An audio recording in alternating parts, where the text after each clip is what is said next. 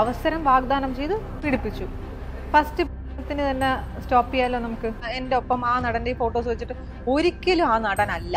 ഇത് ഒരു തവണ തട്ടി. എന്നിട്ട് അദ്ദേഹം ഓടിക്കളഞ്ഞു. ഓക്കെ അപ്പൊ രണ്ട് പ്രാവശ്യം തുറന്നപ്പോഴും ആളെ വിടില്ല മൂന്നാമത്തെ പ്രാവശ്യം ഇത്രയും വലിയ ക്രൂരമായ പീഡനങ്ങളൊക്കെ സംഘടനയിലാണോ കുഞ്ഞെ പറയേണ്ടത്. അപ്പൊ അവസരം വേണം. ലൈംഗികമായിട്ടുള്ള ചൂഷണം നേരിട്ടു എന്ന് പറഞ്ഞ് പുരുഷന്മാർ തുറന്നു പറച്ചിലുകൾ നടത്തിയിട്ടുണ്ട്. തൊലി ഉരിഞ്ഞു പോകുന്നത് അത് അമ്മയിലെ എക്സിക്യൂട്ടീവ് കമ്മിറ്റി കൂട്ടമായി രാജിവെച്ചിട്ടുണ്ടായിരുന്നു ഈ താല്പര്യം തോന്നിയില്ല. കാര്യം അവർക്കറിയാലോ അവർ അവർ കുറ്റം ചെയ്തിട്ടുണ്ടോ ചെയ്തിട്ടില്ല അവർക്ക് വ്യക്തമായി നല്ല ധാരണ. ഇത് തെളിയിച്ചതിന് ശേഷം ഇറങ്ങിപ്പോയാൽ മതിയായിരുന്നു. ആളുകൾക്കൊരു രസമാണ് ഇത് വായിക്കുന്നതും. കണ്ടില്ലേ? അടുത്ത അടുത്ത ആളിനെ കിട്ടി അടുത്ത ആളിനെ കിട്ടി. ഇത് പുതിയ ആൾ വരാൻ വേണ്ടി ഇങ്ങനെ നോക്കിയിരിക്കുന്ന ആളുകളുണ്ട്. നമസ്കാരം. ഇന്ന് നമ്മൾ മൂവി വേൾഡ് മീഡിയയ്ക്കൊപ്പം ചേരുന്നത് ഡോക്ടർ ആൻഡ് ആക്ട്രസ് ആയിട്ടുള്ള ശിവാനി ഭൈമാമാണ് മാം വെൽക്കം അപ്പം നമ്മുടെ ഇപ്പോഴത്തെ പ്രധാന വിഷയം എന്ന് പറയുന്നത് ഹേമ കമ്മിറ്റി റിപ്പോർട്ട്. അതിന് പിന്നാലെ വന്ന പല തുറന്നു പറച്ചിലുകളാണ്. പലർക്കും അതിനുള്ളൊരു ധൈര്യം കൊടുത്ത ഒരു റിപ്പോർട്ടായിരുന്നു ഈ ഹേമ കമ്മിറ്റി റിപ്പോർട്ട്. അതിനിടയിൽ മാമിന്റെ ഒരു പോസ്റ്റ് പറയാൻ ഉദ്ദേശിച്ച കാര്യം എന്ന് വെച്ചാൽ നല്ലതും നല്ലതും ഇതിനിടയിൽ നടക്കുന്നുണ്ട്. മോശം കാര്യങ്ങൾ മാത്രമല്ല മോശം ആളുകൾ മാത്രമല്ല നല്ല ആളുകളും ഉണ്ട് എന്നുള്ള ഒരു സാധനമായിരുന്നു. പക്ഷേ അതിന് പിന്നിൽ മാമിന്റെ ഒരു മോശം അനുഭവം ഉണ്ട്. അത് എന്തുകൊണ്ട് മാം കുറച്ചുകൂടെ ഇമ്പോർട്ടൻസ് കൊടുക്കുന്നില്ല? അതായത് അത് കഴിഞ്ഞൊരു കഥയാണ്. ഓക്കെ അത് കഴിഞ്ഞു. എത്രയോ വർഷങ്ങൾക്ക് മുന്നേ അത് കഴിഞ്ഞു. അതിന്റെ പിറ്റേന്ന് തന്നെ ഞാനത് കംപ്ലൈന്റ് ചെയ്തു. അതവിടെ സോൾവ് ചെയ്തു. ഇനിയിപ്പോൾ അതിലൊരു എനിക്കതിലൊരു പരാതിയൊന്നുമില്ല. പക്ഷേ ഒരു ഭൂരിഭാഗം പേരും നല്ലതാണ് എന്ന് എനിക്ക് പറയണമെങ്കിൽ എനിക്ക് നടന്ന നല്ല അനുഭവം എനിക്ക് പറയണം. ആ നല്ല അനുഭവം പറയണമെങ്കിൽ അതിലേക്ക് എത്തുന്നത് ഈ മോശം. അനുഭവം പറഞ്ഞാലേ എനിക്ക് അതിലേക്ക് എത്തുള്ളൂ. എന്നാലേ ആളുകൾക്ക് മനസ്സിലാവുള്ളൂ. എന്താണ് എനിക്ക് എന്താ പറയാ എന്നെ എങ്ങനെയാണ് അവർ സപ്പോർട്ട് ചെയ്യുന്നത്? അതുകൊണ്ടാണ് ഞാൻ ആ മോശം അനുഭവം പറഞ്ഞത്. അല്ലാതെ അതിലൊരു പരാതി ഉണ്ടായിട്ടൊന്നുമില്ല. ഓക്കെ ഇത്ര ഒരു അനുഭവം നേരിട്ടതിനെ പറ്റി പറഞ്ഞ സമയത്ത് ഇപ്പം നോക്കിയാൽ സോഷ്യൽ മീഡിയയിലായാലും ചാനലുകളിലായാലും ഒരുപാട് ആളുകളുടെ അല്ലെങ്കിൽ ഒരു പെർട്ടിക്കുലർ വ്യക്തിയുടെ പേര് വെച്ചിട്ടായാലും ഒക്കെ ന്യൂസുകൾ വരുന്നുണ്ട്.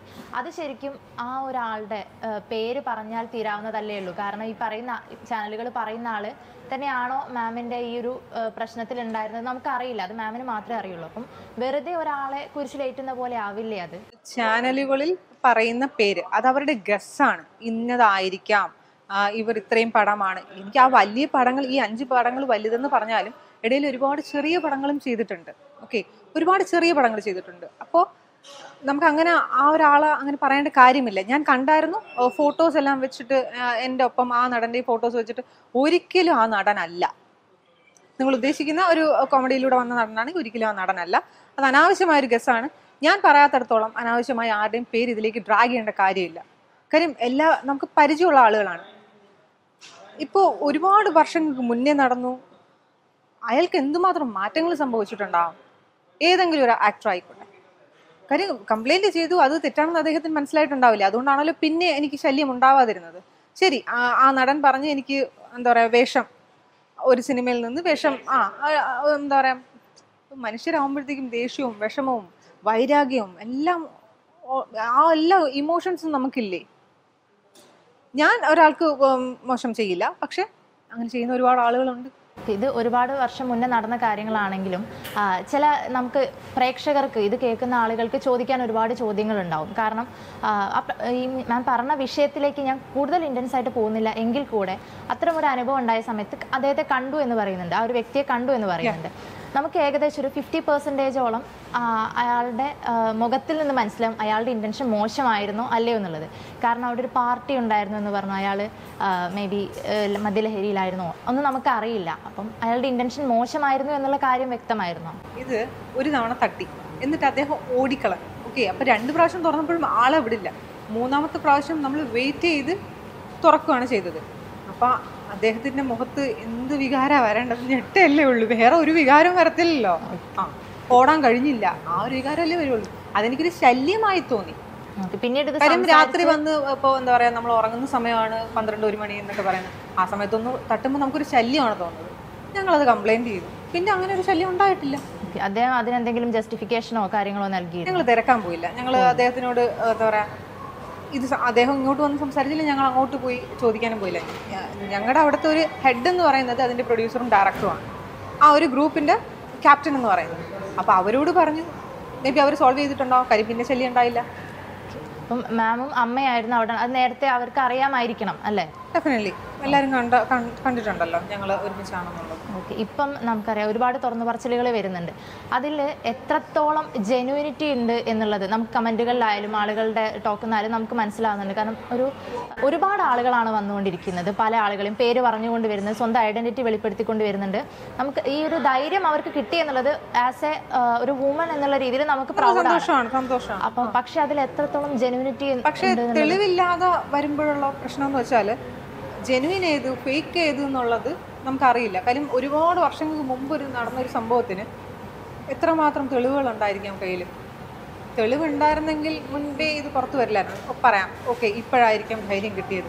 അപ്പോൾ അത് ഇപ്പോൾ കോടതിയിലേക്ക് എത്തിയിട്ടുണ്ടല്ലോ. അപ്പോൾ അതിനൊരു വിധി വരട്ടെ. വിധി വന്നതിന് ശേഷം മാത്രമേ ഒരാൾ കുറ്റക്കാരനാണെന്ന് നമുക്ക് പറയാൻ പറ്റുള്ളൂ. ഇപ്പം നടക്കുന്നതെന്ന് വെച്ചാൽ ചാനലുകളെല്ലാം ഇന്ന ഒരാൾ ഇങ്ങനെ എന്നോട് അപമര്യാദയായി പെരുമാറി എന്ന് പറഞ്ഞ ഉടനെ തന്നെ അയാളെ പറ്റിയുള്ള ഫുൾ ഡീറ്റെയിൽസ് എടുത്ത് അയാളെങ്കിൽ മോശക്കാരനാക്കി ഇതെല്ലാം കാണുന്ന ഒരു ഫാമിലി ഉണ്ട്. അയാൾ കുറ്റക്കാരനല്ലെങ്കിൽ നമ്മൾ എന്ത് ചെയ്യും? അല്ലെ ശുഭ നമ്മൾ ഇതിനെ വന്ന് കമന്റ് ചെയ്യുന്നു അവൻ അങ്ങനെയാണ് അവൻ ഇങ്ങനെയാണ്.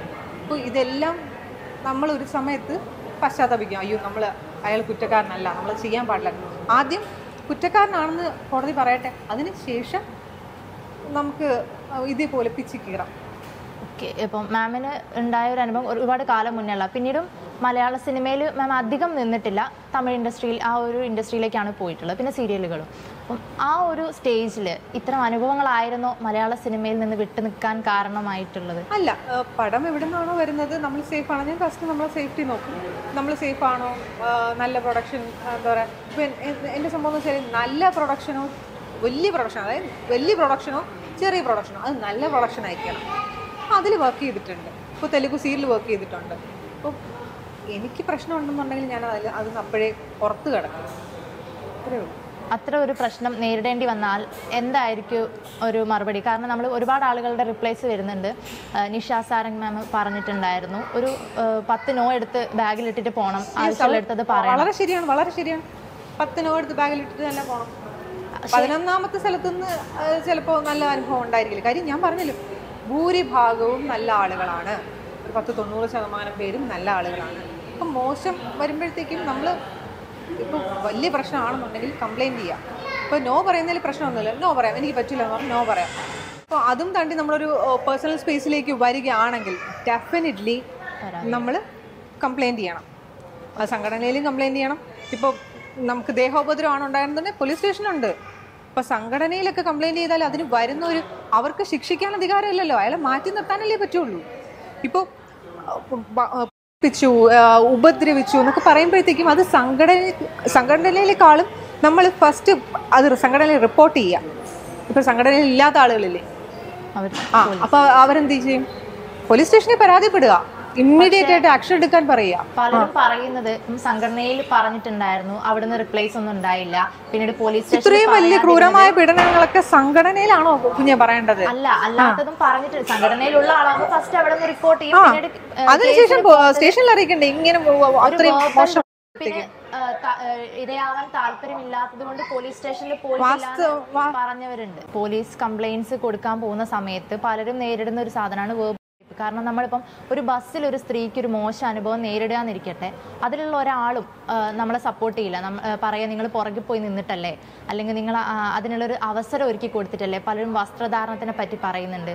അല്ലെങ്കിൽ നിങ്ങൾ ഈ അവസരം കൊടുക്കാമെന്ന് പറഞ്ഞ് പ്പിക്കപ്പെട്ടു എന്നുള്ള കുറേ കാര്യങ്ങൾ നമ്മൾ ഒരുപാട് കാലമായിട്ട് കേൾക്കുന്നുണ്ട്. അത്തരം തുറന്നു പറച്ചിലുകളോട്. എന്താണ്? പതിനാറ് പ്രാവശ്യം പീഡിപ്പിച്ചു. പിന്നീട് പതിനാറ് പ്രാവശ്യം പതിനാറ് സ്ഥലങ്ങളിൽ വെച്ച് പീഡിപ്പിച്ചു ഇങ്ങനെയുള്ള അവസരം വാഗ്ദാനം ചെയ്ത് പീഡിപ്പിച്ചു ഫസ്റ്റ് പീഡനത്തിന് തന്നെ സ്റ്റോപ്പ് ചെയ്യാലോ നമുക്ക്? അപ്പോൾ അവസരം വേണം. അപ്പോൾ ആ അവസരത്തിന് വേണ്ടിയാണ് നിന്ന് കൊടുക്കുന്നത്. ലാസ്റ്റ് അവസരം കിട്ടുന്നില്ല എന്നാകുമ്പോഴത്തേക്കും അല്ലേ ഇത് പറയുന്നത്? നമുക്ക് ആദ്യമേ തന്നെ നോ പറയാതെ എനിക്ക് തന്റെ അവസരം ആവശ്യമില്ല എന്ന് പറയാം. എന്തോരം നല്ല ആളുകളുണ്ട് സിനിമ ചെയ്യുന്ന. നല്ല ഡയറക്ടേഴ്സ് ഉണ്ട്. എനിക്ക് സിനിമ അവർക്ക് അങ്ങനെയുള്ള സംവിധായകർക്ക് എനിക്ക് സിനിമ മാത്രം ചെയ്താൽ മതി. ഇതിനകത്തുനിന്നുള്ള ഇതുപോലെയുള്ള കാര്യങ്ങൾ വേണ്ടാന്ന് വെക്കുന്ന തൊണ്ണൂറ് ശതമാനം സംവിധായകരും പത്ത് പെർസെന്റേജ് ആളുകൾ കാണും. കാര്യം മനുഷ്യർ തന്നെ പല രീതിയാണ്. അതുകൊണ്ട് പത്ത് പെർസെന്റേജ് ആളുകൾ എല്ലായിടത്തും കാണില്ലേ?